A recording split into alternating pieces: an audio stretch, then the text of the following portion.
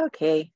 Well, good evening, everyone. My name's Mary Laughlin, and on behalf of the Epilepsy Foundation of Eastern Pennsylvania and our friends at GeneDx, I wanted to welcome you to our Advanced Epilepsy Genetic Testing, Exploring the Clinical Utility of Genomic Sequencing webinar.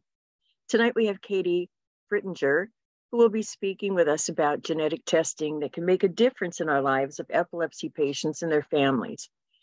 Katie attended Wittenberg University, where she obtained a Bachelor of Arts in Biology with a minor of Chemistry and Psychology in 24. Uh, she attended the University of North Carolina at Greensboro Genetic Counseling Program and graduated with her Genetic Counseling Master's degree in 2006. And from 2006 to 2012, she was employed with Integrated Genetics at Senior Genetic Counseling in Miami, uh, in Florida. She worked as a prenatal genetic counselor in a maternity fetal medicine specialty clinic. And in uh, 2012, Katie moved to Columbus, Ohio, and joined the GeneDx sales and marketing team as neurology product specialist in 2014. She became the senior genetic testing specialist, providing support to all GeneDx testing options.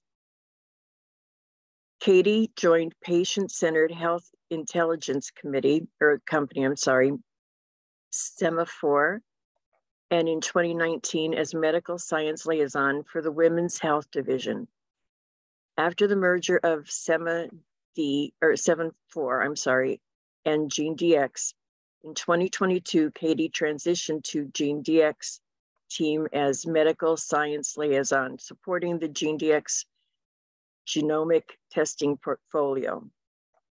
So um, if you have questions throughout the evening, please put them in chat, post them in chat, and I will present them to Katie at the end of the program. So welcome, Katie, and the floor is yours. Well, thank you so much for the invitation to uh, join this evening and speak with your group about genomic testing. Um, I'm going to share my screen here and get things started.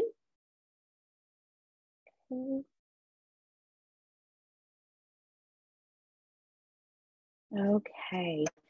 Um, so um, again, I'm Katie Fritinger. I work as a medical science liaison with GeneDx. Um, I'm trained certified genetic counselor and tonight we're going to be talking about advances in epilepsy genetic testing. We're exploring the clinical utility of genomic sequencing. So that's quite a, a mouthful, um, but really the agenda is to focus on um, kind of genetic testing fundamentals, almost like a little genetics 101, just to get you some um, basic terminology and understanding um, of some key concepts of genetic testing. We'll explore the benefits of genetic testing for epilepsy, as well as the advances, and then talking about making genomic sequencing accessible. Uh, we'll end with a Q&A, so I'm happy to take any questions. Um, I'll also provide my contact information if you think of things after the presentation my hope is for you just again to have a better understanding after the presentation today of, of you know what is genetic testing for epilepsy and how it can be beneficial. I don't expect you to be genetic counselors or geneticists um, or get a PhD in, in genetics by the end of this, but just to really understand a bit more about the testing and uh, feel a bit uh, feel a little bit more comfortable about about what this topic is and um, potentially having conversations with your providers if you think would be beneficial for you or your family members. So let's start with genomic sequencing and testing fundamentals. So going to start with the basics again um, there's no quiz at the end of this just want to get some terminology and some basic understanding that we'll build upon as we we talk a little bit more about genetic testing so when we think about genes and genetics we first think about the cell. So there's billions of cells in our body. And within our cells are this, this little membrane structure that contains all of our DNA or all of our genomic, our genes, all of the genomic material that we have. Inside the nucleus are these structures called chromosomes. These are long strands of DNA that are tightly wound around proteins. And in each cell within that nucleus, there are 23 pairs of chromosomes for a total of 46 chromosomes. So typically, uh, you get 23 pairs of chromosomes from um, your mom and 23 from dad. So a total of 46 chromosomes in every cell of our body. If you were to unwind those tightly packed chromosomes, you would start to see DNA and genes. So, genes are just the instructions that tell cells how to make proteins, and these proteins perform various functions in the body.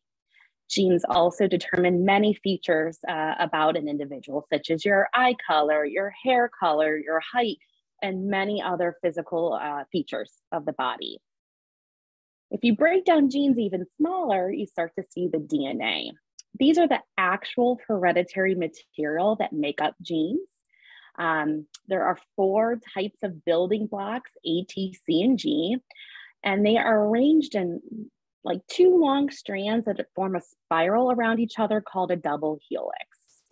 Uh, again, no quiz at the end of this, just to give you some basic understanding of kind of genetics 101 here.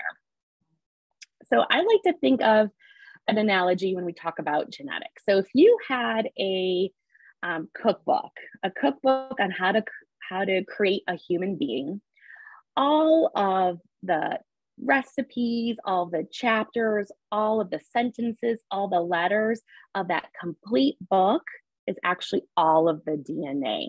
Okay. So if you look at all the genetic material and you put it into a cookbook, that's the entire book is your DNA. When you open the book and start to look at specific chapters, think of those like the chromosomes. So a book would have 46 chapters. Um, and then if you broke it down more, genes are like the individual recipes within a cookbook. So um, that's how I like to think about if you look at DNA as all of our genetic material, there should be 46 chapters or 46 chromosomes in every cell of the body. And then there's many, many, many genes or recipes within those chapters. So let's talk about genes in a bit more detail. Again, genes are the instructions that tell the body how to grow and develop. And each human being has about 20,000 genes. So there's 20,000 genes in every cell of our body. There can be a variety of different changes within a gene. We call those variations. Some variants can cause a gene not to work properly. So a change in the gene um, makes it no longer, or basically the, the change in the gene can no longer make the protein that it's supposed to. Um, so that causes problems in the way the gene functions. Some variants are benign. So there's a change in the gene, but it does not impact the gene's function. So it can do its normal um, work. It can make the proteins that it's supposed to. It's just a normal change that doesn't cause any problem. Some variants within a gene are very common and some are very rare. We all have variants. We all have variations across our genome. Some we know about, some we don't. Um, but and then some cause problems and some don't. So there can be many variations across these 20,000 genes. You may also hear the term mutation sometimes. That's a, a, terminology where a change in a gene causes the gene not to work properly. And that mutation affects the ability of the protein to, to work correctly we're really moving away from the term mutation and replacing it with a term called pathogenic variant. So that's the term I'm going to use moving forward. Um, but just to let you know that um, that's kind of the change in some of the terminology. We're, we're moving away from using the word mutation and replacing it with variant. And if that change does not causes the gene not to work properly, we call that a pathogenic variant. Okay, last slide on talking about what genetics are and the structures of, uh, of genes. So we talked about chromosomes hold all of our genetic material and DNA. And if you kind of unwound that chromosome, you'd see the double helix. And there's genes within this um, portion of this double helix. Well, to break down genes a little bit more, there are portions of a gene called an exon and portions of a gene called intron. This will be important a little bit later, so that's why I want to mention these terminologies. Exons are sections of the gene that actually make the proteins. Um, the exons make about 1 to 2% of the human genome.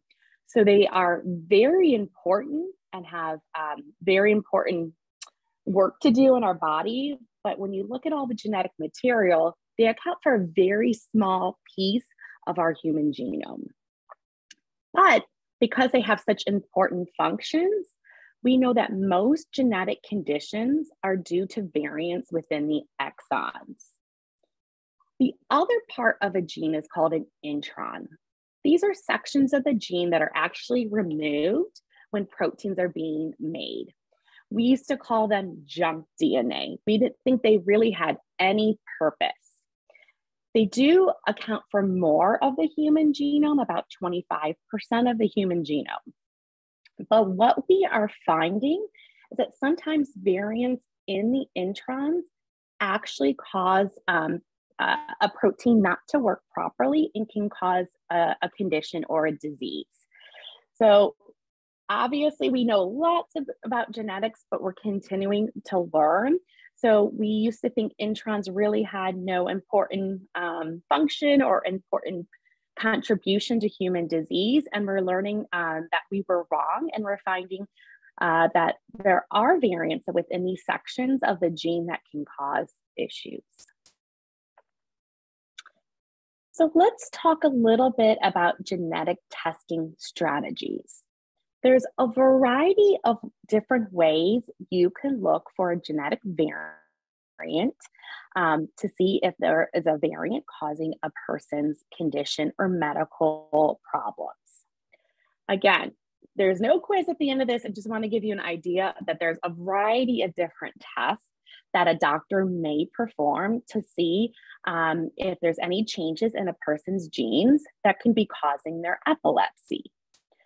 One common test is called a chromosome microarray, or we call it a CMA for short. This is where we're looking to see if there's any extra or missing pieces of chromosomes.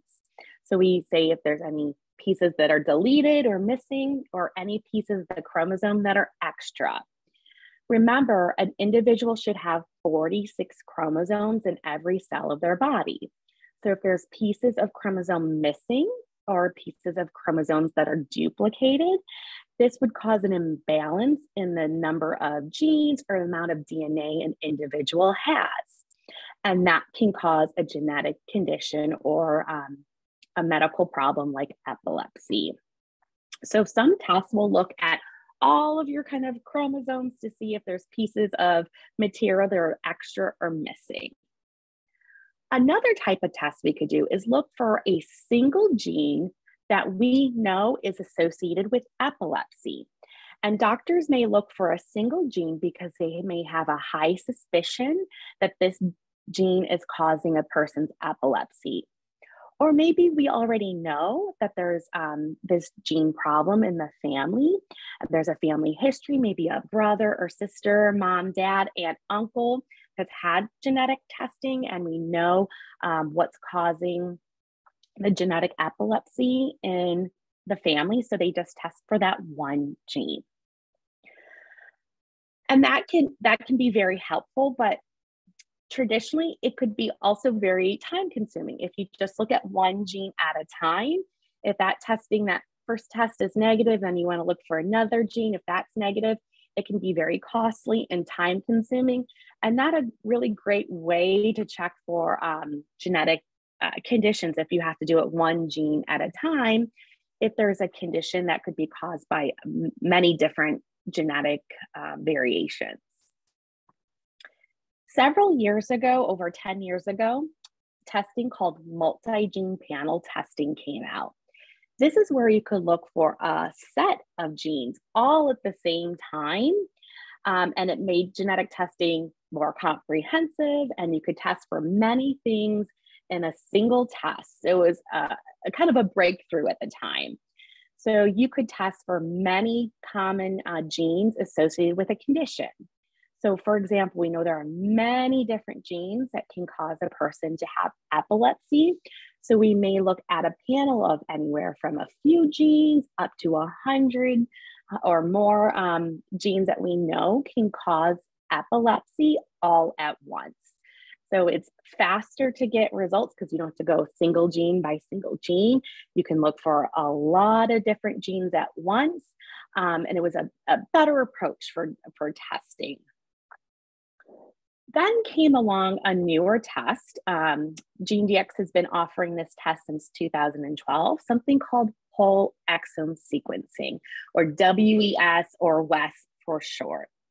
So this is where we analyze all the exons of an individual gene. So if you remember that picture I, I showed before, exons are a part of a gene um, that make proteins. So what this test does is it tests all, hooks up all 20,000 genes, all the little exons of those genes um, to see if there's a change in any of those exons that could be causing epilepsy or whatever condition that you're looking for. So it can test for common genetic changes, it can test for rare, and also any newly discovered genes. And then most recently, a newer test has kind of come about um, called whole genome sequencing. So this is where we're analyzing all the exons and the introns of an individual's genes. Um, so again, looking at all 20,000 genes, but looking at more of the complete gene on both the exons and introns. And it does the same thing. It tests for common, rare, and newly discovered genes. So um, kind of go back to our analogy. If you were thinking about, okay, so you've got all these different tests. What are they looking for? So, a whole exome and whole genome sequencing is like if you were looking at the entire cookbook. You're looking at all 20,000 genes in its entirety to see if there's any gene changes causing the epilepsy. That chromosome microarray I talked about, it's looking for any pieces of the chromosome that are extra or missing. So, this is looking to see are there chapters from the book missing? Um, is it a whole chapter missing? Is it a um, half of a chapter missing. So that's kind of what a chromosome microarray is doing. And then a single gene test or a multi-gene panel test is looking for these uh, set of genes, like the individual recipes, to see if there's any changes in this um, in the genes that we're looking for that could be causing the epilepsy. Now, this this slide is a lot. I don't expect you to memorize this or um, um, understand it in its completion, but I wanted to kind of give you a visual representation of where testing um, started and where we're going, and that there are benefits and limitations to all different types of genetic testing. Um, and to, to, again, kind of give you a visualization. So, this side here is all the different types of genetic changes um, that we commonly test for. And so you can see that microarray that's looking for the, the pieces of the chromosomes that are missing or extra. It's really good at detecting these type of genetic changes, but it does not have the ability to test for these other ones. Same with multi-gene panels. It's really good at looking for some types of genetic changes, but it can't test for others. And so what whole exome sequencing as well as whole genome sequencing is able to do is basically have the advantage of being able to test for many different type of gene changes in one test um, compared to the microarray and multi-gene panel testing that we've traditionally had for a longer time. So um, again, it can't do everything, but it's really great at combining um, kind of these two tests that we've had in the past that typically were ordered separately um, and would take time to get results back and um, would be, you know, you'd have to pay to to cost for those tests. Um, so this is again, whole exome sequencing, the nice thing about it, it's a more complete test um, in one single package. So when you do genetic testing, typically there are three different type of results that you can get. One is a positive result or a diagnostic result. That means we found a change in a gene that causes a person's symptoms or their genetic disorder or the cause for their epilepsy. Another type of result is a negative or non diagnostic.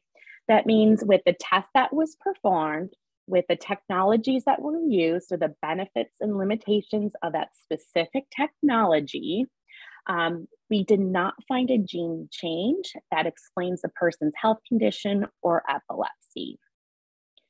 So the again, the idea is the more you can test for, um, the more likely you're going to get a positive result or can rule out with a negative result. Another type of result you may get is a variant of uncertain significance or a VUS. That means we found a gene change, but we don't know exactly what it means right now. If you remember before at the very beginning, I talked about some variants we know a lot about, um, and we know they cause uh, genetic conditions. And when we see that variant in a gene, we know a lot of information and we can say, yep, that causes a person's um, symptoms. We also know sometimes that variants uh, are completely benign, meaning if we see a change in that gene, we know it does not prevent the gene from working properly. The protein still can be made. So we consider that just a normal variation.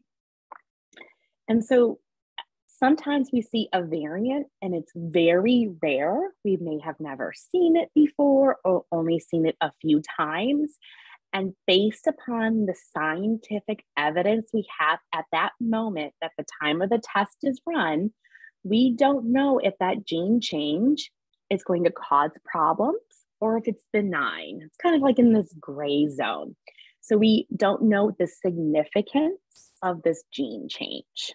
So um, at that time, we just say we've seen a gene change. We don't know if it's diagnostic or negative, and we need to continue to look at the literature and hopefully we'll have more information about this variant in the future.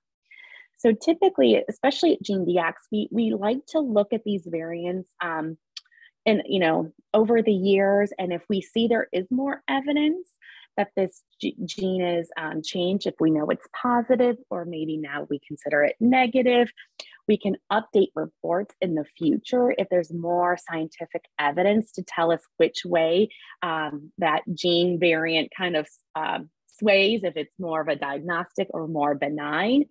But um, that's one limitation of genetic testing is sometimes we just don't know with the information we have if we see a gene change, if, an, if it's associated with a condition or not. So let's talk about the diagnostic rate of these different testing options I talked about. So when I mean diagnostic rate, that means the chance you will get a positive result or um, something in the test result that's diagnostic and we have found the cause for the person's epilepsy or other medical conditions. So I talked about we we have a variety of different types of testing approaches, and um, not all tests are created equal, and um, tests are improving over time. And so what we're finding is that there are better diagnostic rates with this exome sequencing compared to a traditional panel or a chromosome microarray, that CMA. So when I talked about those panels of genes where you can test for maybe just a few genes or several hundred genes, about 10% of the time we'll find a genetic change related to the individual's um, epilepsy or medical condition. That diagnostic rate actually is a little bit, uh, it, it, improves with chromosomal microarray, where you're looking for those pieces of chromosomes that are missing or extra. But because exome sequencing combines um, all those different technologies and can look for more types of genetic variants compared to those other types of tests, it actually has a much higher diagnostic yield, up to 53%, um, or up to 53% chance of finding a genetic cause for the patient's condition um, with that test. So this has been an exciting thing in the genetics world to see that we have a test that's better.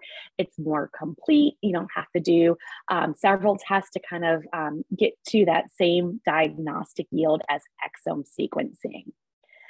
So the point of telling you about all these different tests is that doctors will approach genetic testing very differently. Um, it, it really varies across the United States within hospital systems.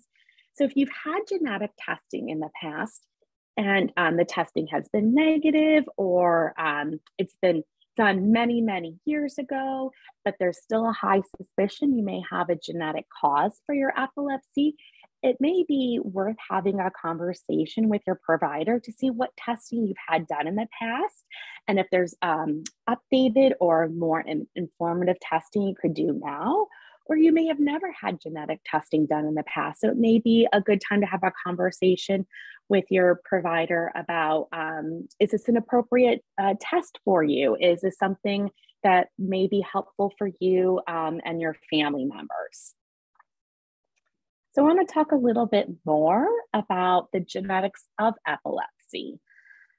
So we know that there is an underlying genetic cause in about 40% of individuals with epilepsy. Um, genes have been identified that can cause both generalized seizures and focal seizures, as well as unclassified epilepsy types like um, infantile spasms. Uh, the chance of having a genetic variant is higher for specific epilepsy types, such as an infantile spasm, Dravet syndrome, and other types of epilepsies. The inheritance pattern can be um, very different. And what that means is um, sometimes a condition can be dominant. What that is, is when a an individual has a gene change, and every time they have a child, there's a 50% chance they pass on that gene change to their child and they would have the, um, a genetic epilepsy. Some are inherited in autosomal recessive manner. That means there's a gene change in mom and a gene change in dad. And when those genes are passed on to the children, uh, if the children gets two genetic variations, it can cause the condition. Some are X linked, that means they're typically passed through our sex chromosomes, usually from mom to sons. And sometimes genetic changes occur de novo. What de novo means is there are no genetic changes that cause epilepsy in the parents, but there's a brand new gene change that just happens in that um, child. It happens while um, the sperm and egg come together and there's a, a, genetic change that happens at that kind of that time of conception in those early um, moments of the cell division. And so it's not passed down from anybody but there is a brand new gene change that causes the uh, epilepsy or medical condition in that person. Pathogenic variants in a single gene may be associated with many different types of seizures. So some individuals will have the same exact gene change, but have different types of seizures or different type of medical conditions. And vice versa, sometimes variants in very different genes can cause similar medical conditions or the same epilepsy type. So genetics can be confusing. That's the kind of the message there is it's not always straightforward. Um, and so we, you know, as clinicians and as labs, really do a lot of research to try to understand um, how these gene changes work and how um, they can, um, how the symptoms are associated with those gene changes. Okay. So why can why is genetic testing in epilepsy important or beneficial? Why would you even want to kind of consider this type of testing? Well, we know a precise genetic diagnosis can lead to more effective treatments and help identify, treat, and or prevent co-occurring medical conditions for children with epilepsy. So we know up to 80% of cases have implications for treatment and management. Patients with a genetic diagnosis can achieve up to 90% seizure reduction in some cases and that diagnoses can mean improved access to resources and clinical trial eligibility.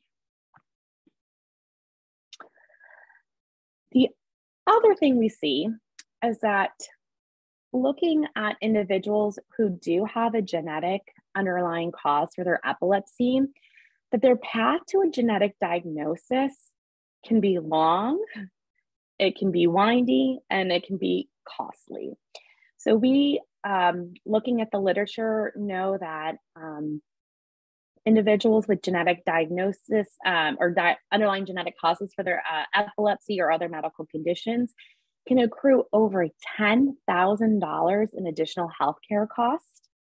They can wait over six years on average for a genetic diagnosis and undergo more than five uninformative tests. So, tests that didn't give them any information and were not helpful in their clinical care. And what we're you know we're trying to do is find a precise diagnosis with our comprehensive testing so patients can get to a definitive diagnosis faster um, we call this kind of um, journey to um, finding the cause for someone's epilepsy or um, genetic condition a diagnostic odyssey and by doing genetic testing earlier and more comprehensive we can reduce that testing strategy and that diagnostic odyssey by six to eight years. And we know there are many benefits to genetic testing. Um, some here, you know, I've laid out here. This is um, not comprehensive, and we can really talk about the benefits at a, at a even deeper level. But high level, you know, we what I was just saying, we, we can identify a diagnosis faster um, and can end that patient's diagnostic odyssey the earlier we do testing um, and the more comprehensive the genetic testing performed. If we're able to get a genetic diagnosis, or even if the testing comes back negative, we can develop a more precise care plan based upon that patient's genetic results, um, which can maximize the individual's positive health outcomes, as well as alert providers to any additional health concerns that warrant screening. So maybe we do genetic testing and we find a, a gene change that we know causes epilepsy, but we also know that gene change may cause other medical conditions that we may want to start screening for and were not aware of previously. Um, and so having that information can help us tailor treatment and maybe as well avoid unnecessary um, testing and appointments because we have a more precise diagnosis. You also can connect with parents and other family members um, to get more specific support if there is a genetic cause for um, the epilepsy um, and can get that kind of um, individual connection with other family members who are um, family members and and individuals who have a similar genetic diagnosis in their family.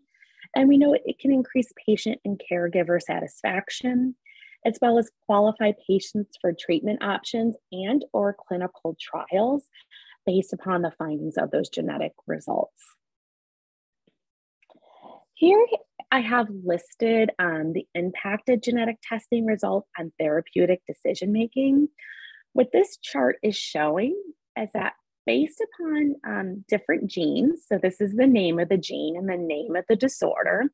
There are specific treatment implications that are recommended um, and that can help control seizures based upon the gene, the gene that's been involved. So, for example, um, this gene here, um, we know that the seizures respond to treatment with vitamin B6 and folic acid um, POLG, we know that this, if a patient has a change in this gene, they really need to avoid valproic acid because it can induce or accelerate liver disease.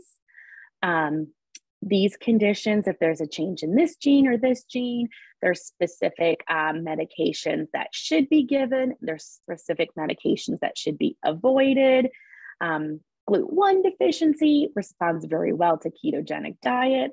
So, the point of this slide, again, is to understand that there can be specific tailored treatment um, for some of the gene changes that we, we know about to can help that help control um, uh, seizure onset, frequency.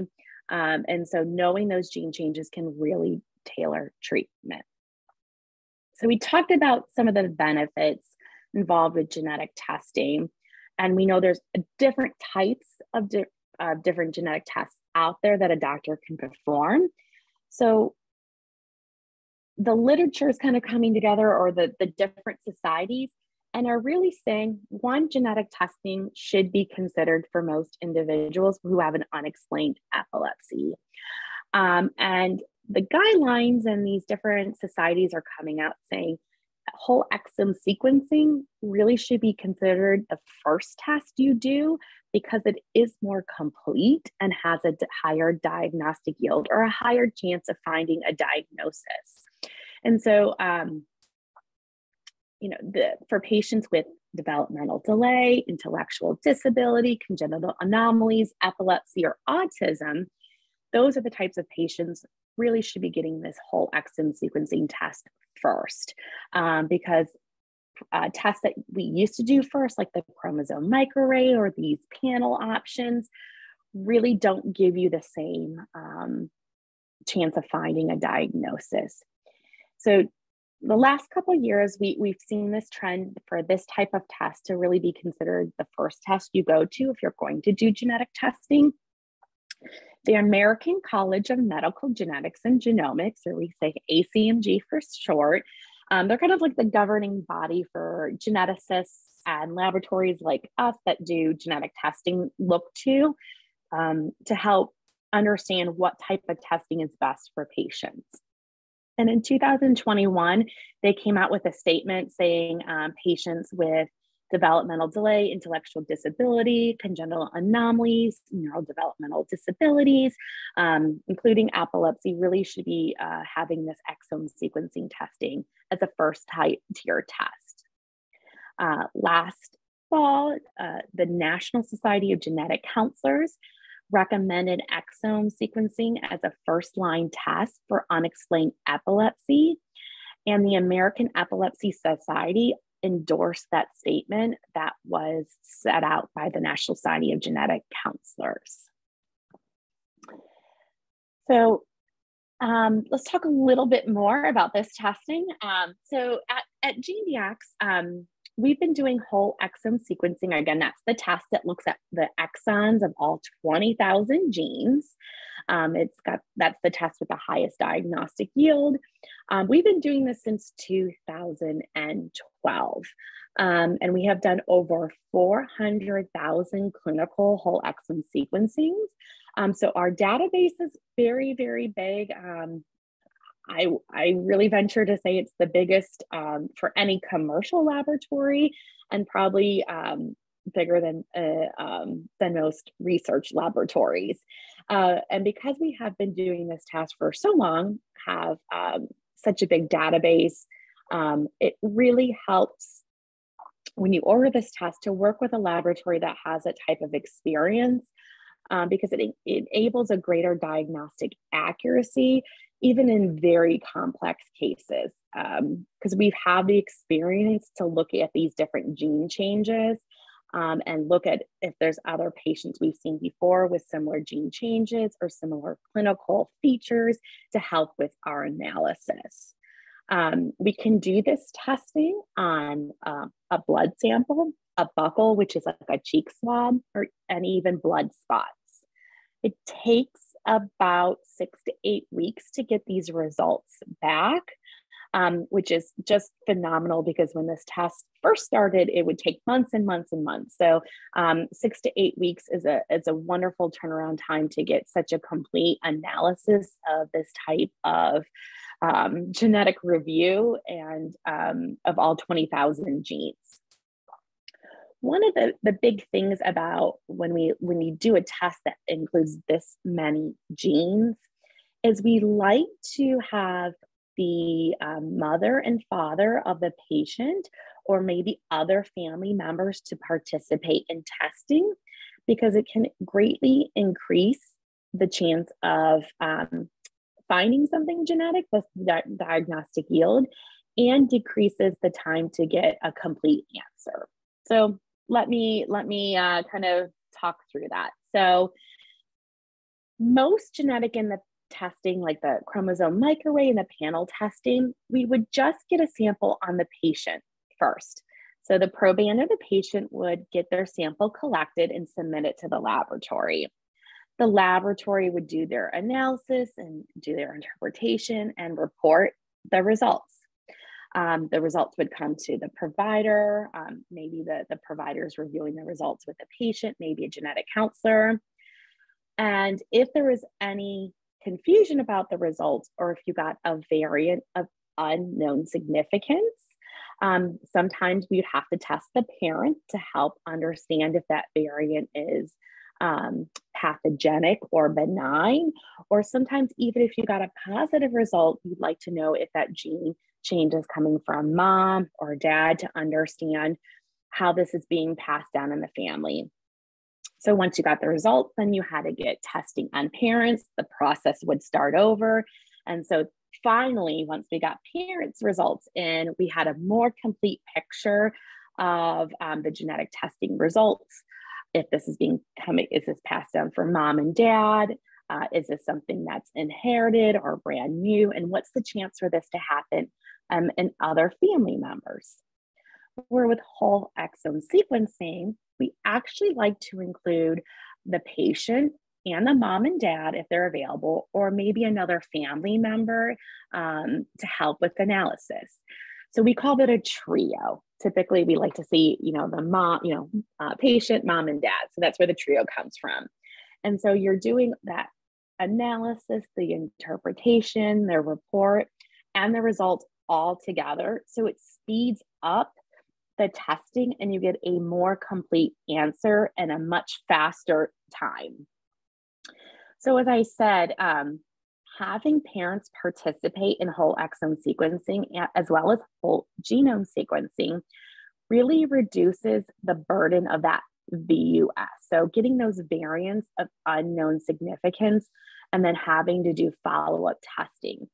If we have the samples of mom and dad right from the beginning, um, or other close relatives, that really lets the laboratory kind of look at the analysis and know, hey, is, is this is this variant coming from mom or dad? And help us understand if it's if it's something contributing to um, the patient's epilepsy. So long story is with whole exome and whole genome if you have parents it actually reduces the chance of getting a variant of unknown significance.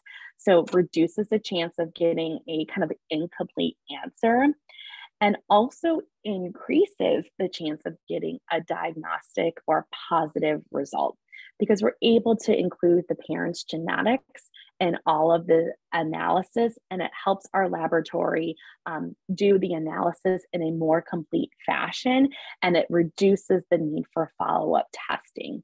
So it, something that is is different with whole exome sequencing, the other types of testing is the encouragement to include parents with the testing because of the benefits of lowering those um, potential uh, incomplete results and increasing the chance of finding a, a diagnostic result. The other unique thing about whole exome sequencing, as well as whole genome sequencing, you can actually reanalyze the data in the future if the test is um, negative or we do not find an answer with that first test. So with whole exome sequencing, um, most laboratories will offer, well, I can't speak for all laboratories. I'll say GeneDx does, and many laboratories do offer the option to look at the data in the future to see if there's any changes um, that we are able to identify. So we typically recommend re-looking at the data months or years after the initial report. And we can look at the data again in the future in, and and see if there's anything that's changed in the literature. Like maybe there's new genes that have been discovered that can cause epilepsy. Um, and there's things that we didn't know about with the time of testing as far as uh, what we know about genetics or maybe in the future the patient's medical condition changes um, and there's new um, symptoms or problems occurring that may be important when we review the, the genetic data. So, what we can do is look at this data again in the future if the patient's medical conditions have changed or if um, there's new literature about epilepsy and the genes involved. And we can look at the data with a kind of fresh set of eyes to see if we're able to find any new insights or um, or things that we think could be contributing to a patient's epilepsy. When we relook at the data in the future, about 29% of the time, we will find more information. Um, so maybe now we have a definitive answer or something that's possibly related um, to the patient's epilepsy. And things that can lead to uh, a, a, new result or um, a new definitive kind of a new positive is if again there's more clinical information on the patient if we have found new genes related to epilepsy that we didn't know about at the time of testing and then just improvements to how we do our analysis.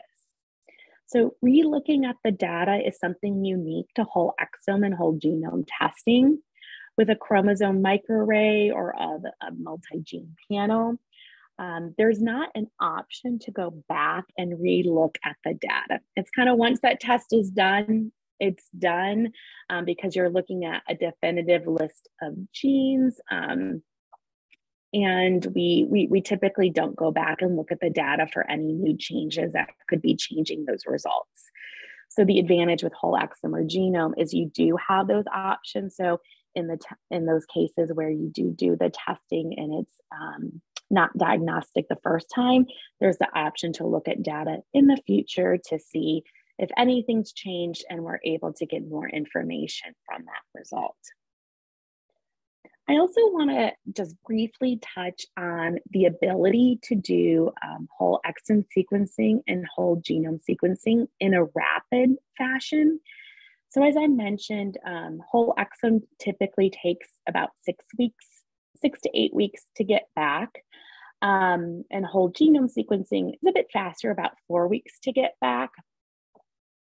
But we do know there are times when we need a test faster.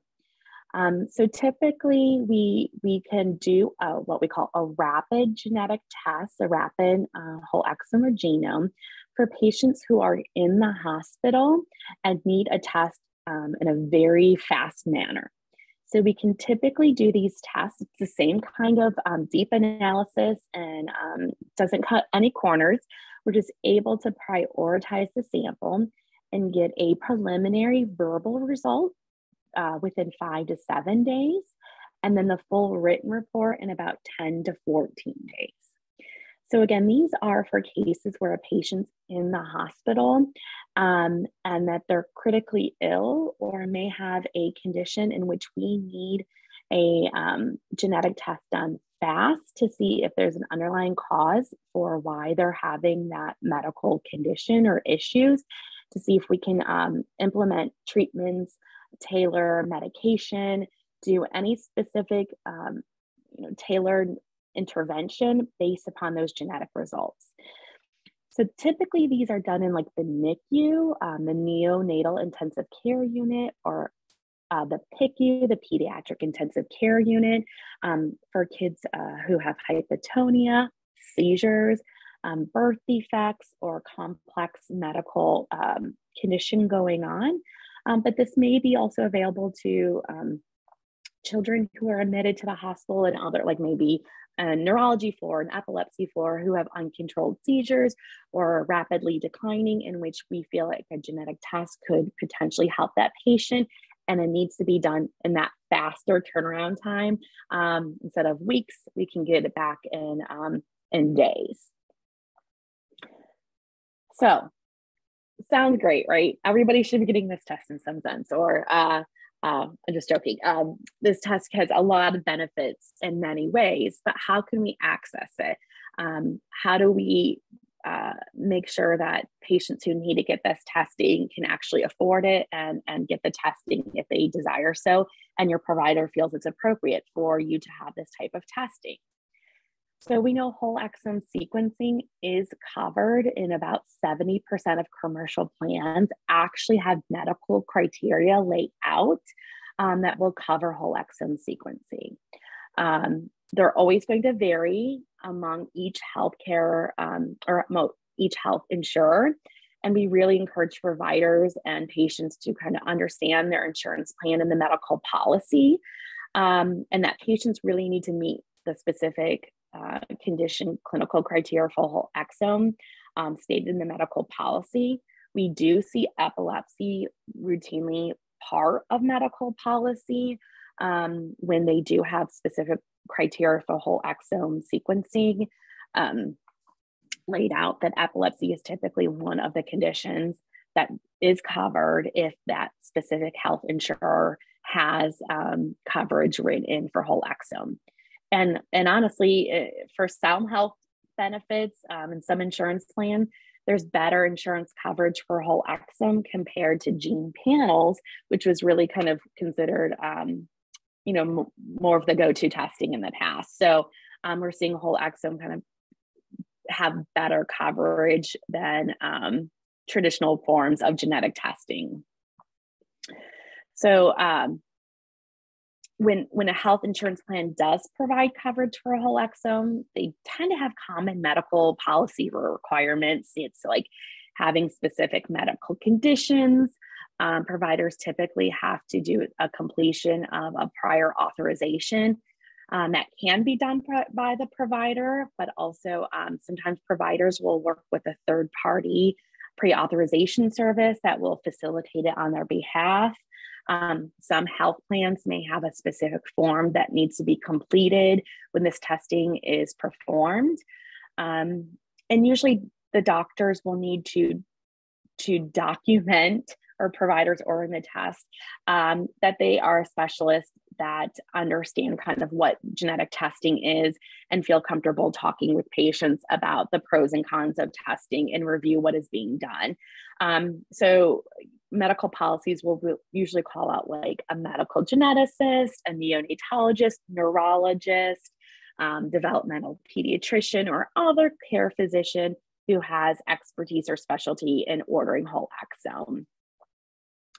And then usually doctors will need to provide some kind of medical necessity as part of their clinic notes um, that go to the insurance plan to under so the insurances know that there is um, a medical necessity or reason that the provider is ordering this test.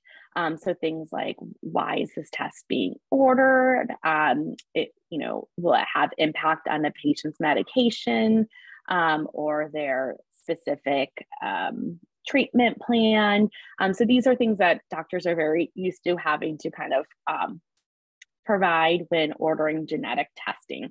The nice thing at GeneDx is we, we do have a whole set of services to kind of help with this process. So if a provider is ordering whole exome sequencing through our laboratory. We have a lot of services on this end to help providers provide the correct documentation, um, get the prior authorizations and order the testing to ensure that we can get the best coverage as possible. We're also seeing a movement in Medicaid coverage for testing. Um, so we're seeing more and more Medicaid, um, state Medicaids covering um, whole exome and whole genome sequencing. Um, my presentation focused a lot on whole exome and not as much as on whole genome. Uh, a couple reasons for that. We're seeing much better insurance coverage uh, for whole exome versus whole genome at this time. Um, so we're just seeing many more providers order that testing kind of on the outpatient setting. But the good thing is we're seeing more insurances plans um, providing coverage for that whole genome sequencing. So if that continues to occur, that will be a more accessible test for individuals. Um, right now, um, there are just a few insurance plans that will cover whole genome sequencing. And we're really seeing whole genome sequencing being more utilized in those rapid um, scenarios that I talked about where we need a test very fast. Um, and that that is typically billed to the hospital because the patient's in the hospital and it's not billed directly to the patient's insurance from our point of view. Don't want to get in the weeds about insurance in that point, but that's kind of um, the uh, where we're going as far as medical coverage for testing and as well whole genome sequencing has been available at a laboratory for many years and um, really moving out of like the research setting and more into the clinical setting. Um, we're just not seeing it as adopted as much as whole exome sequencing because of um, insurance coverage I assume that's going to change as we move. Um, and so we'll be seeing the ability to do whole genome sequencing more. Um, but, uh, but the good thing is we're seeing such great uh, coverage of whole exome at this time that it's becoming uh, a more accessible test. My last slide here, hung through with me to this whole um, uh, genetics uh, information. Just want to reiterate that um, you know, GeneDx provides many different services through this process if a um, provider chose to work with our laboratory. So we, we have a lot of services both for the provider, but as well as the patient. And one of the things I like to highlight because I'm a genetic counselor, maybe I'm biased, is our genetic counseling support services. So, you know, this testing can be complicated and sometimes can be confusing. So we don't want patients and or providers to ever feel like um, they're on their own when ordering this testing. So we have a, a, a, wealth of support on the genetic counseling side. So over 100 in genetic counselors who can sp- support both the providers. So if they have questions about our testing, um, what test to select, the information they need to provide on the test order, um, when they get a result back. What does it mean? What kind of follow up testing do I need to do? We have all that type of service for the providers, but more importantly, we have it for patients and families too.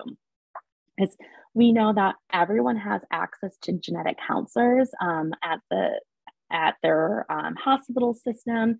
Um, we do encourage if there's local genetic counselors to work with those genetic counselors if you have questions about your results or what testing might be best for your, your specific situation. Um, but if you need additional support or you don't have access to genetic counselors, we do have um, genetic counselors at our laboratory that are patient support genetic counselors that can talk with you through your results, um, before the test is done, after the test is done, um, to provide a level of comfort for um, for you and your family members going through the testing. So that's my last slide. I really thank you for your time this evening. Um, as I said, there was no quiz at the end. I just wanted to kind of give a high level of the different types of genetic tests that are out there, um, the evolution of testing, um, and to encourage you to talk with your providers if it's something you're interested in. If you've had testing done in the past and you want to make sure there's nothing that um, is newer or you could be done um, since you've had testing, just to let you know, uh, genetics is always advancing. And what I say today will probably be very different um, in a year from today. Uh, but we're we're here to help kind of support you in that journey of understanding genetics and how they're how they can play an important role in epilepsy care. So Mary, I'm done. If there's questions, I know we're probably right at time. I, I tend to talk a lot, so I'm sorry, but I'm happy no. to stay on if there's questions. That was fantastic. It was really very informative. I enjoyed it. Uh, there are a few questions. Sure. Uh, let's see. First one was Okay, never mind. You answered the question. That was one of them. Um, let me start from the beginning. Would a person who has been diagnosed with mesial uh, sclerosis as the cause of epilepsy benefit from genetic testing? I think potentially. Um, I think I think that's a good conversation to have with your physician about um, what the understanding cause is for the epilepsy and if there's still some questions about what the true diagnosis is or how they came to that diagnosis and if um, if a further workup would be um, helpful. Okay. Um, now this one, Mitchell said that you answered it, Yeah. but do insurance Okay. companies pay for the genetic testing, especially when doing uh, the trio-based analysis? Mhm. Yeah. Um, like I said, there are insurances that are we about 70% of commercial insurances now have medical policy written in um, to their policies um, that cover whole exome. Again, it's hard to always say a blanket statement, yes, insurances cover it. I think every individual plan is different. Um, if you're going to do this testing, uh, we do at GeneDx offer something called a benefit investigation, which we can look into your insurance um, plan to see what the estimated out of pocket cost is. So I think it's good to um, understand what your own personal insurance coverage is. And if the laboratory you're going to do testing with has kind of those abilities to look into what the cost may be prior to, you can do it even prior to getting the testing done. That can be helpful to know what the cost would be for your, your specific situation. Okay. Um, after discussion with our neurologist at, at CHOP, we decided to do epilepsy genetic testing on their daughter. Uh, we had a GeneDx test done in 2021 and they got the results in 2022 and they did go over the results without with their neurologist but they're wondering if it's possible to have a conversation with a GeneDx representative to get your interpretation on the report. Uh, they're feeling that there could be a lot more information speaking with uh, a representative from GeneDx I think um, I think that's a great question, and I we love to partner with local genetic counselors. We're never here to replace um, any of genetic counseling services. I think maybe um, first starting to have a conversation with your your initial provider and genetic counselor who order that testing to let them know that maybe you have still follow up questions. Um, but again, we are happy to speak with you if you feel like you are needing additional review or would like more information, um, and and you feel like that you could be uh, that could be beneficial. So our genetic counseling services do require a referral from a provider to um, to us to have that conversation. Um, it's at you know um, no additional cost for for most insurances to have that conversation with us um, but it does require a referral um, form to be filled out so we can have that conversation with you.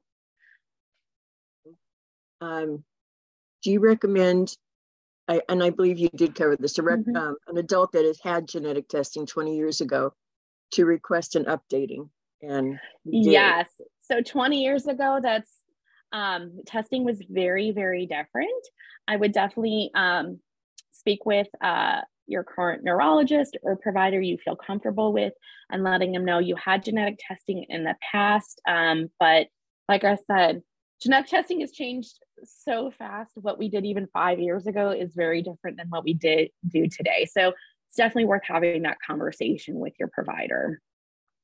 Okay. Are there certain types of epilepsy that don't show up on results for genetic testing? Oh, good question. Um, I would say ones that,